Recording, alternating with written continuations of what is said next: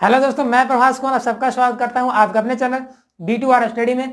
आज फ्रेंड्स इस वीडियो में दोस्तों class twelfth biology chapter number one जीवो में जनन का दोस्तों अलग है, बहुत सारे एमसीक्यू बहुत सारे ऑब्जेक्टिव सवालों को इस वीडियो में डिस्कशन करने वाले हैं, समझने वाले हैं। क्योंकि फ्रेंड्स ये सारे प्रश्न बहुत आपके लिए इंपॉर्टेंट है, क्योंकि इस बार एग्ज़ाम में पूछने के सामने बन रहे हैं और कहीं ना कहीं फ्रेंड्स प्रश्न रिपीट किए गए हैं। प्लीज़ ये सारे प्रश्नों को देखिए, क्या कहता है। फ्रेंड्स प्रश्नों को समझना दोस्तों क्लियर करना तो बस कुछ नहीं, वीडियो को अंत देखते रहेगा वीडियो अच्छा लगेगा तो लाइक कर दीजिएगा और कुछ वीडियो सीखेगा तो प्लीज़ यार चैनल को सब्सक्राइब कर दीजिएगा। चलिए, शुरुआत कर लेते हैं आज के क्लास को। तो सबसे पहला प्रश्न को पढ़ते हैं, क्या करा? देखिए, निम्न में कौन एक लिंगी है? निम्न में कौन एक लिंगी है? आपका ऑप्शन है सरसों बी में गुड़हल सी में पपीता और डी में से कोई नहीं। तो फ्रेंड्स एक लिंगी का, एक लिंगी का मतलब क्या होता है? जिसमें क्या होगा? जिसमें सिर्फ़ एक लिंगी समझता है ना, एक लिंगी का मतलब तो वहाँ पे एक ही अंक से क्या उसमें जनन हो जाएगा, ठीक है? उसमें स्त्रीलिंग, स्त्री केसर और पुंके से अलग अलग पौधे में नहीं पाया जाएगा। स्त्री केसर और पुंके से दोनों एक ही पौधा में रहेगा। तो कौन सा फ्रेंड्स है? तो आपका ऑप्शन नंबर सी है राइट आंसर पपीता। पपीता जो पपाया होता है फ्रेंड्स उसमें क्या होता है ना? स्त्री केसर और पुंके से दोनों एक ही पौधे में पाया जाता है। इसीलिए क्या होता है, वो एक लिंगी होता है, ठीक है? एक लिंगी होता है द्विलिंगी नहीं होता। अगला बढ़ते प्रश्न सेकंड नंबर क्यों ये प्रश्न क्या करा है? निम्न में कौन उभय लिंगी है? तो फ्रेंड्स उभय लिंगी का ही दूसरा नाम है द्विलिंगी। तो आपसे प्रश्न पूछा रहा है कि द्विलिंगी कौन है? आपको ऑप्शन में मक्का बी में है सरसों सी में है गुरहल और आपका डी में है सभी। तो इसका option number D is right answer friends जो ये आपका मक्का है, सरसों है, गुड़हल, ये तीनों फ्रेंड्स आपका द्विलिंगी है। द्विलिंगी का मतलब दोस्तों क्या होता है? द्विलिंगी का मतलब दोस्तों दोनों जो होगा ना, इसमें एक सॉरी मैं यहाँ पे थोड़ा सा गलत कर दिया हूँ। एक लिंगी में दोस्तों क्या होगा ना, एक पौधा में एक ही अंग, लिंग लिंग निर्धारण वाला कोई पार्ट्स रहेगा। से आपको स्त्री केसर है या पुंकेसर है लेकिन द्विलिंगी में क्या रहेगा, एक ही पौधा पे दोनों रहेगा। स्त्री केसर पुंकेसर दोनों रहेगा। जैसे आप सरसों में देखे होंगे, गुड़हल में देखे होंगे, और मक्का में देखिएगा तो एक ही पौधा पे दोनों रहेगा। एक ही पौधा दोनों यानी कि उभय लिंगी रहेगा। और एक पौधा में एक रहेगा सिर्फ़ तो ये पपीता, एक लिंगी हो जाएगा। ठीक है? अगला प्रश्न हमारा, तीसरा नंबर, ये प्रश्न तो पूछा गया एग्ज़ाम में, ठीक है? रिपीट भी किया गया बहुत बार। इसलिए प्लीज़ इसको देखिए। प्रश्न क्या बोल रहा है कि एसओ टू प्रदूषक का सूचक है। एसओ टू जो सल्फ़र डाइऑक्साइड है, वो प्रदूषक का सूचक है। कैसा इंडिकेटर है? आपका ऑप्शन है सैवाल लाइकेन, कवक की सभी। तो आपका ऑप्शन है बीज राइट आंसर लाइकेन। लाइकेन जो तो पौधा है दोस्तों, उसका जो एसओ टू ना प्रदूषक सूचक है। लाइकेन समझ रहा लाइकेन? एक पौधा का नाम है। चलिए आगे बढ़ते हैं दोस्तों क्वेश्चन नंबर चौथा क्यों ये प्रश्न क्या बोल रहा है कि मानव युग्मकों में गुणसूत्र की संख्या कितनी होती है? मानव युग्मकों में गुणसूत्र की कितनी संख्या है? आपको ऑप्शन है इक्कीस बी में है तेईस सी में है चौवालीस डी में छियालीस। तो आपको option number D right answer छियालीस। देखिए फ्रेंड्स हम लोग का जो शरीर, जो मानव जितने भी ह्यूमन होते हैं, उन सब में फ्रेंड्स तेईस जोड़ा, यानी कि छियालीस गुणसूत्र पाए जाते हैं, क्रोमोसोम सिक्स क्रोमोसोम पाए जाते हैं, ठीक है? तो गुणसूत्र की संख्या कितना टोटल छियालीस होता है, ठीक है? सब में अलग होता है तो मक्का में अलग होता है, प्याज में अलग होता है, ठीक है? चूहा में अलग होता है, सबका अलग अलग होता है, ठीक है?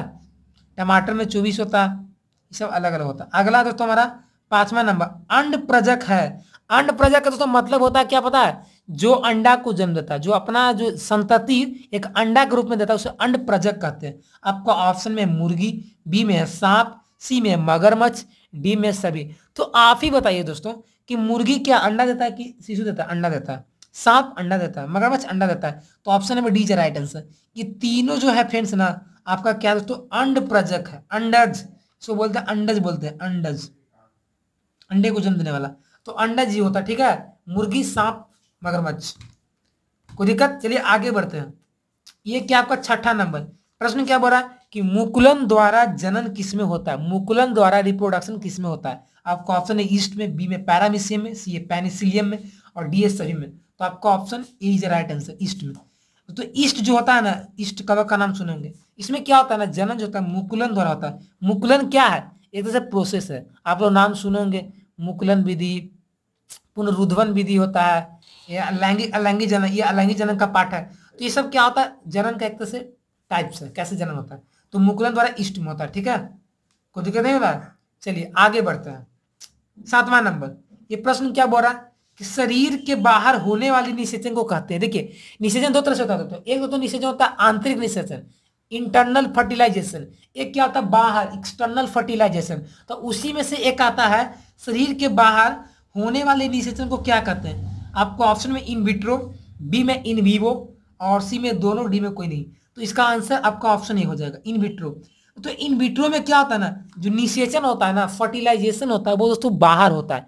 शरीर के बाहर होता है तो इन विट्रो कहलाएगा फ्रेंड्स यही, यदि वही शरीर के अंदर होगा तो उसको इन वीवो बोलेंगे. क्या? इन वीवो ठीक है? इन वीवो फर्टिलाइजेशन चलिए आगे बढ़ते हैं.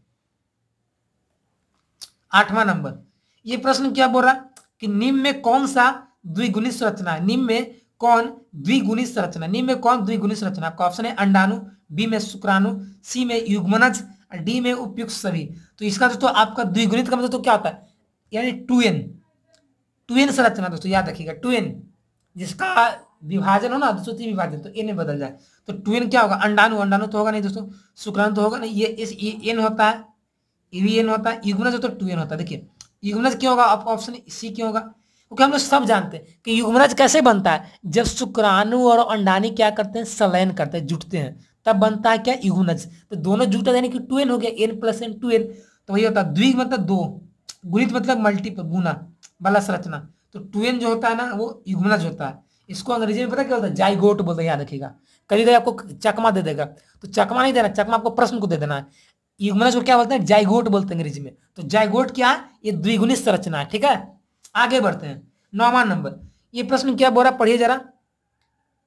प्रश्न दिख रहा है? दिखना चाहिए, मैं प्रयास कर रहा हूँ। नवा प्रश्न क्या बोल रहा कि जब संतति उत्पत्ति एकल जनक द्वारा होती है, तब क्या कहलाता है? आपका ऑप्शन लैंगिक जनन, बी अलैंगिक जनन, सी है अनिषेक जनन, डी है बाह्य जनन। देखिए फ्रेंड्स जब यहाँ पे संतति कैसे जन्म ले रहा है? एकल जनक द्वारा, यानी कि वन पेरेंट्स द्वारा, यानी कि एक पेरेंट्स के द्वारा एक संतति जन्म ले रहा है। तो इसका तो क्या होगा? अलैंगिक होगा। अलैंगिक में एक कंडीशन आता है फ्रेंड्स ठीक है? लैंगिक में क्या होता है? दो जनक भाग लेते हैं, ठीक है? नर और मादा बट अलैंगिक में सिर्फ़ एक ही होता है, ठीक है? जो अलैंगिक जनक आप देखते होंगे अमीबा होता है पैरामीशियम होता है ईस्ट होता है पेनिसिलियम होता है, इस सब में क्या होता है? अलैंगिक जनन होता है, ठीक है? एक जनक द्वारा आता ठीक है? तो ये आपका ऑप्शन हो गया, ठीक है? नॉर्मल नंबर देखिए तो आपको क्लास ट्वेल्थ में बायोलॉजी बहुत इंपॉर्टेंट काम करता है। समझे ना? नीट एग्ज़ाम सुने होंगे। नीट में कहाँ से वाले आते हैं? ट्वेल्थ से आते हैं, ठीक है? सिर्फ़ ट्वेल्थ याद है आराम से बायोलॉजी पढ़िएगा। और हमारे साथ जुड़े रहेगा आराम से कोई दिक्कत नहीं होगा। ठीक है, क्योंकि मैं अपने अच्छे से पढ़ाऊँगा, क्योंकि मैंने भी दोस्तों बायोलॉजी में अच्छे मार्क्स लाए नाइन्टी सिक्स नंबर प्राप्त किए थे, इसलिए मैं इतना ऐसे बताऊँगा कि आप अच्छे मार्क्स लाएँगे। ठीक है, इसलिए प्लीज़ आराम से समझिएगा, आराम से पढ़िएगा, कोई दिक्कत नहीं होगा। चलिए, आगे बढ़ते हैं। आगे बढ़ते फ्रेंड्स हमारा क्वेश्चन नंबर दसवां क्यों? देखिए, प्रश्न क्या बोल रहा है कि क्रमिक विकास का योगदान है। क्रमिक विकास का योगदान है। आपका ऑप्शन है स्वपरागन का बी पर परागन का सी कायिक प्रवर्धन का, और डी आपका क्या? संकरण का तो इसका ऑप्शन बी जो राइट है पर परागन देखिए पर परागन क्या देखिए दोस्तों, ये पर परागन मतलब क्या होता है? पर परागन के परागन मतलब होता है पॉलिनेशन पॉलिनेशन में क्या होता है? पता है? परागकण क्या होता है? इस तरीके से चिपक जाता है। और पुंकेसर में चलिए आपका किसी भी पुंकेसर वाला भाग से चिपकता है वहाँ से, और उसके दूसरे जगह भाग में जाके सॉरी क्या है? नर जनन भाग से इसी जनन वाले भाग में जाता है, वहाँ से चिपक जाता है परागकन और चिपकने के बाद क्या होता है वो नीचे चला जाता है, फट जाता है, वहाँ से परागन ली और वो अंडाशय में जाकर मिल जाता है, अंडाणु में। ये पेड़ पौधा का बात हो रहा है, ठीक है? ये अलग होता है परागन पेड़ पौधा में होता है, ठीक है? परागन कहाँ होता है? पेड़ पौधा में होता है पोलिनेशन परागकन के द्वारा होता है, ठीक है? बात समझ रहा ना? चलिए, अगला बढ़ते हैं, ग्यारह नंबर, ये बहुत इंपॉर्टेंट प्रश्न क्या प्रश्न बोल रहा है? कि एक स्वस्थ महिला के पूरे जीवन काल में उत्पन्न कुल अंडों की संख्या होती है। तो ये आपका ऑप्शन है चार हज़ार, बी में है चार सौ, आपका सी में चालीस है, आपका डी में तीन सौ पैंसठ है। तो ऑप्शन बी जो राइट है चार सौ। चार सौ कुल अंडों की संख्या होती है, ठीक है? एक पूरे स्वस्थ जीवन काल में। ओबम इसको बोलते हैं अंग्रेज़ी में, ovum. O V U M, अंडाणु को। अगला बढ़ते प्रश्न, बहुत इंपॉर्टेंट है, क्या बोला? कि ऋतुस्राव चक्र। ऋतुस्राव चक्र होता है। मेंस्ट्रुअल साइकिल किसमें होता है? आपका ऑप्शन है मनुष्य में बी बंदर में सी चिंपैंजी में डी उपयुक्त सभी में। तो ऑप्शन डी राइट आंसर ये तीनों में होता है फ्रेंड्स मेंस्ट्रुअल साइकिल जो होता है मेंस्ट्रुअल साइकिल ऋतुस्राव चक्र बोलते हैं वो तीनों में होता है। मनुष्य में बंदर में चिंपैंजी में। ठीक है? समझ रहा इस सारा तो, तो क्या है? आपका मैमिलिया वर्ग में आते हैं। मैमिलिया वर्ग स्तनधारी वर्ग में आते हैं। इसलिए इन सब में क्या होता है? ऋतुस्राव चक्र होता है मेंस्ट्रुअल साइकिल होता है। आगे बढ़ते हैं। तेरह नंबर।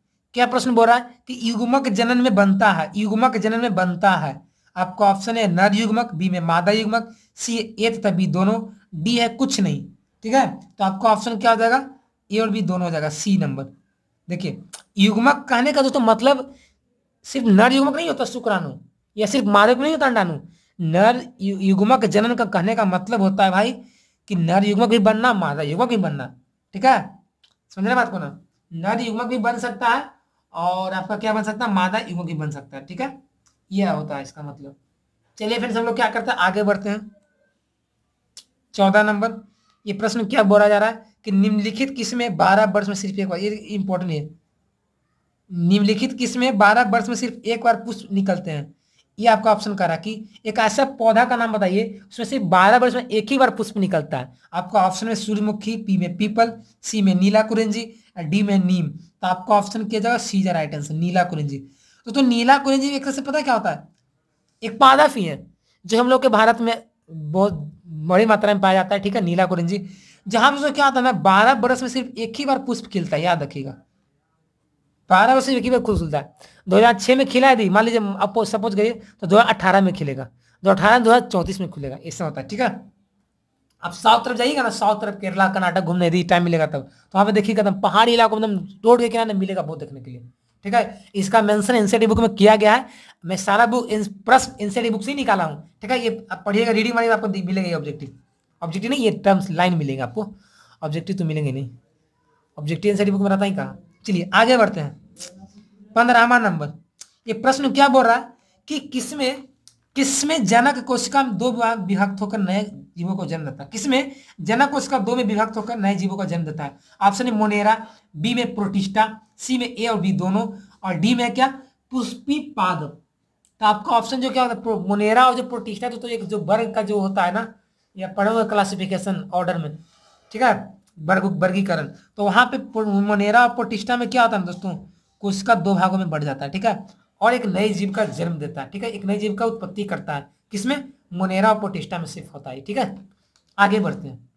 सोलह नंबर, ये प्रश्न क्या बोल रहा है? कि जीन प्रकंद का एक उदाहरण है, जीन प्रकंद का एक उदाहरण है। यानी कि जीन प्रकंद का एक ऐसा एग्ज़ाम्पल बताइए। आपको आप लहसुन बी में नींबू, सी में अदरक और डी में प्याज। तो आपका जो अदरक जो है ना, वो पता क्या होता है जीन प्रकंद का उदाहरण होता है।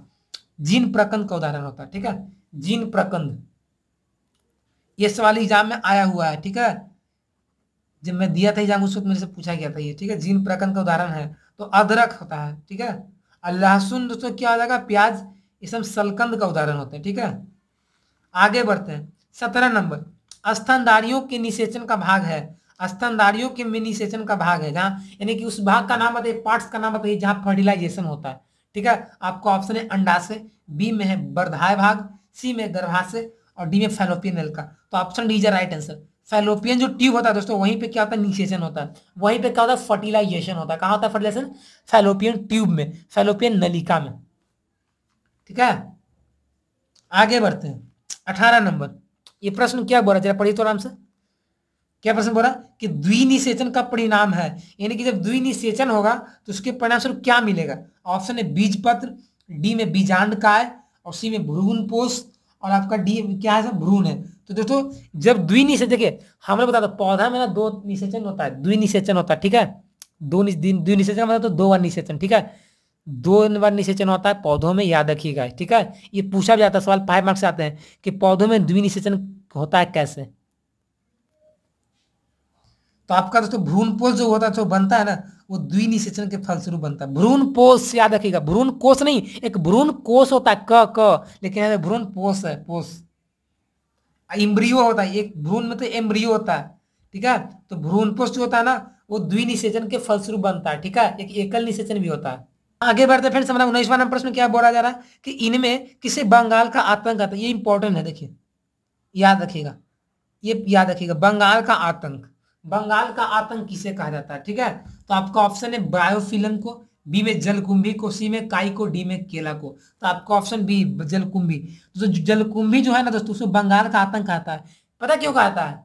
इसलिए कहा जाता था क्योंकि दोस्तों जब जब ये का एक क्या हुआ ना, बंगाल में पेड़ पौधों में क्या हुआ कि दोस्तों वहाँ पे जलकुंभी को दूसरे देश से लाया गया। दूसरे देश से लाने के बाद क्या हुआ इतना फैलने लगा जलकुंभी कि पूरा जलाशय, पूरा तालाब को घेर लिया अपने से। और उसके अंदर जो जितने भी वाटर में ऑक्सीजन होता है, उसको खींचने लगा जलकुंभी खींचने के कारण क्या हुआ कि जल से ऑक्सीजन कम होने लगा और उसके कारण क्या हुआ कि मछलियाँ मरने लगी। मछलियाँ मरने लगी जीव जंतु मरने लगी, इसीलिए बंगाल कहता हूँ, क्या कहता है? जलकुंभी ठीक है? इसलिए कहते हैं। मैं बता दे रीजन को दिक्कत? चलिए, आगे बढ़ते हैं। बीसवा नंबर, क्या बढ़ रहा कि जब नर और मादा युग्मक में युग्मन होता है, जब नर और मादा युग्मक में युग्मन होता है, तब क्या कहलाता है? ऑप्शन है, अलैंगिक जनन, बी में लैंगिक जनन, सी में मुकलन, डी में वर्धिक कारिक।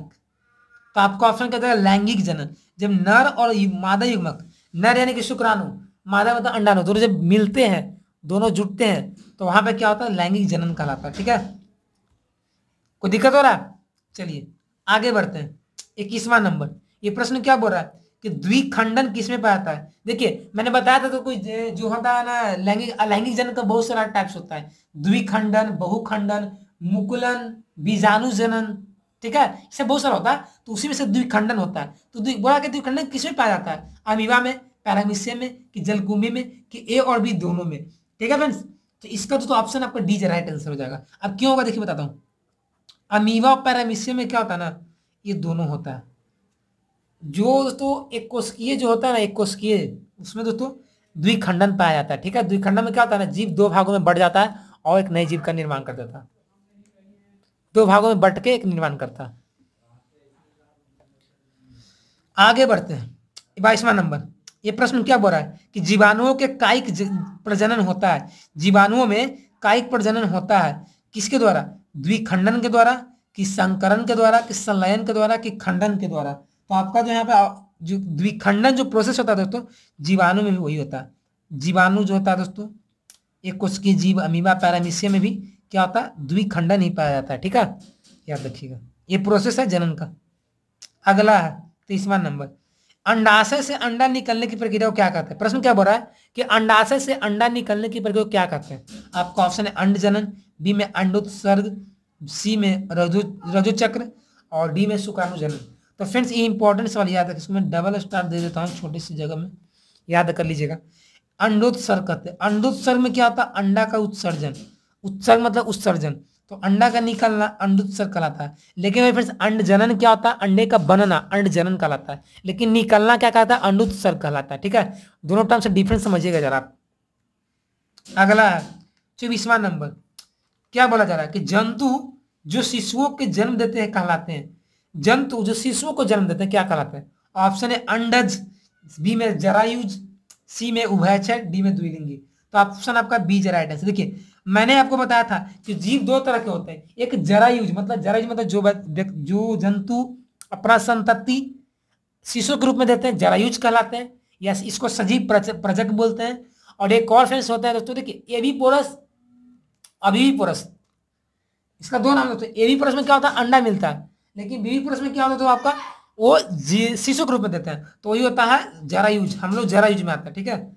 मानव जाति, क्योंकि ये शिशु के रूप में देता है। लेकिन वही सांप हो गया, मगरमच्छ हो गया, मेढक हो गया, सब अंडा देता है ना? तो अंडा देता है वो अंडी, अंडे क्या हो जाएगा? अंडज हो जाएगा, ठीक है? या उसको बीवी पुरुष बोल सकते हैं। ओवी पुरुष। अंग्रेज़ी थोड़ा याद कर लीजिएगा बायोलॉजी में बता रहा हूँ अगला ट्वेंटी फाइव नंबर, तोता का सबसे अधिक उम्र क्या है? तोता का वो जीवन का बताना, लाइफ स्पैन। तो सबसे इसका ऑप्शन में है नब्बे बरस बी में पच्चीस बरस सी में पाँच सौ बरस डी में आपका एक सौ चालीस बरस। तो आपका एक सौ चालीस याद रखिएगा। तोता जो तोता है ना, चल, एक सौ चालीस बरस जीता, याद रखिएगा। लेकिन वही यदि कौआ को देखा जाए ना तो बहुत कम जीता। मुझे ऐसे एक्चुअली याद नहीं आ रहा, ठीक है, लेकिन बहुत कम इसका, दस बारह ऐसे होता है ठीक है कौआ का बरस। अब इसका रीजन पता क्या, देखिए, दोनों का भाई आकार सेम है। तोता को सेम जैसा लगता है बट यहाँ पे डिफरेंट अलग है लाइफ स्पेन का। ठीक है, ये सवाल समझ सकते हैं। तोता कितना बार जीता है?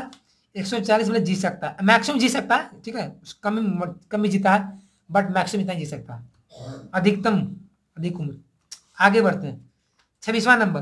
प्रश्न क्या बोल रहा है कि निम्न में कौन सा जीव प्रजक नहीं है? देखिए, प्रश्न आ गया घुमा फिरा के।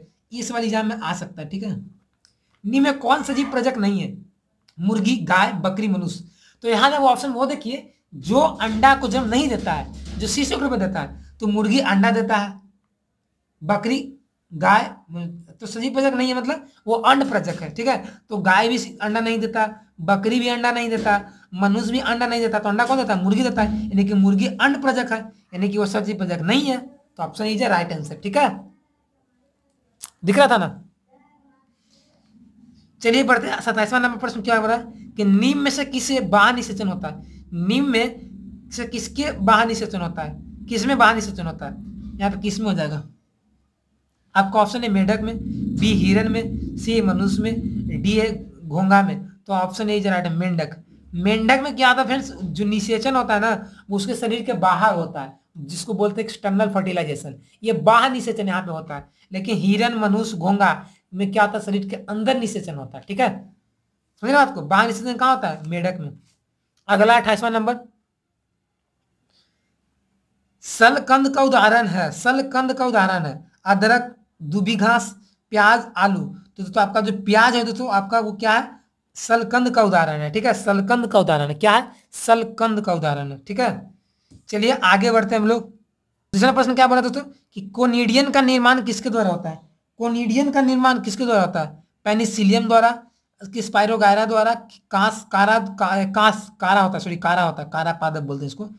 B F D F fern द्वारा तो पेनिसिलियम जो दोस्तों होता है ना, उसी के द्वारा पेनिसिलियम कबक होता है, ठीक है? कबक होता है पेनिसिलियम एक तरह से। तो इसके द्वारा क्या होता है ना, कोनिडियन का निर्माण होता है कोनिडियम जीवाणु। कोनिडियन होता है, ठीक है? कोनिडियन बनता है, इसके फलस्वरूप कुछ प्रोसेस के द्वारा। तो ये तो पेनिसिलियम तो क्या बनता है, कोनिडियन बनता है, ठीक है? ये भी सवाल में एग्ज़ाम में आ सकता है सेंटिफिक एग्ज़ाम हो या आपको बोर्ड एग्ज़ाम हो। तीसरा प्रश्न को भैया, तीसरा नंबर हुआ था लास्ट क्वेश्चन अलैंगिक जनन में कितने जीव भाग लेते हैं? अलैंगिक जनन में कितने जीव भाग लेते हैं? ऑप्शन है एक बी में दो सी में तीन डी में एक भी नहीं। तो अलैंगिक में क्या होता है? एक भाग लेता है, ठीक है? अलैंगिक में क्या होता है? एक जीव भाग लेते हैं और संतति का निर्माण करते हैं, बट वही लैंगिक में दो भाग लेते हैं, नर और मादा, ठीक है? तो फाइनली फ्रेंड्स इस वीडियो में मैंने आपको class twelfth physics chapter number one ठीक है? जीव में जनन का मैंने दोस्तों बत्तीस महत्वपूर्ण प्रश्नों को इस वीडियो में बताया हूँ। ये प्रश्न दोस्तों बहुत आपके लिए इंपॉर्टेंट बहुत बहुत इंपॉर्टेंट है, क्योंकि सारा प्रश्न आपको एनसीडी बुक से निकाला गया और कहीं ना कहीं पूछने की संभावना बन रहे हैं। इससे प्लीज़ ये प्रश्नों को आराम से देखिएगा, समझिएगा, क्योंकि एग्ज़ाम में आ सकते हैं, ठीक है? तो फ्रेंड्स आज तक बस इतना ही। आज का वीडियो कैसा लगा अच्छा लगा ना? कुछ सीखिए ना हेल्पफुल था ना? तो प्लीज़ यार देर किस बात ये कर रहे हैं? वीडियो को लाइक कर दीजिएगा फटाफट चैनल को सब्सक्राइब कर दीजिएगा, ताकि ऐसे मतलब वीडियोज़ आप सामने पहले पहुँचते रहें, आप सीखते रहें, आगे बढ़ते हैं ठीक है? मिलते हैं नए वीडियो में। तब तक के लिए बन रहे चैनल से। जय हिंद, जय भारत टेक केयर बाय तो दोस्तों, आज का वीडियो कैसा लगा? अच्छा लगा ना? कुछ सीखे ना हेल्पफुल था ना तो प्लीज़ यार वीडियो को लाइक कर दीजिएगा। और चैनल को अभी सब्सक्राइब नहीं किए होंगे तो प्लीज़ चलिए पहली बार होंगे तो प्लीज़ चैनल को सब्सक्राइब कर दें। क्योंकि फ्रेंड्स, मैं क्लास ट्वेल्थ ऑल सब्जेक्ट का एमसीक्यू का चैप्टर वाइज सीरीज़ चला रहा हूँ। इसलिए प्लीज़ चैनल को सब्सक्राइब कर रखें, ताकि आप सीखते रहें, आगे बढ़ते रहें। और फ्रेंड्स, मैं ज़्यादा यही कहूँगा कि इस वीडियो को शेयर भी कर दीजिएगा अपने फ्रेंड के साथ, जो पढ़ते हैं आपके साथ में, ताकि वो भी जाने, वो भी आगे बढ़ेंगे, ठीक है? और फ्रेंड्स, हम इंस्टाग्राम फेसबुक यदि फॉलो नहीं किए होंगे तो वहाँ फॉलो भी कर सकते हैं, क्योंकि वहाँ मैं कुछ सिखाते रहता हूँ, ठीक है? चलिए मिलते हैं नए वीडियो में। तब तक के लिए बने गए चैनल से। जय हिंद, जय भारत, टेक केयर, बाय।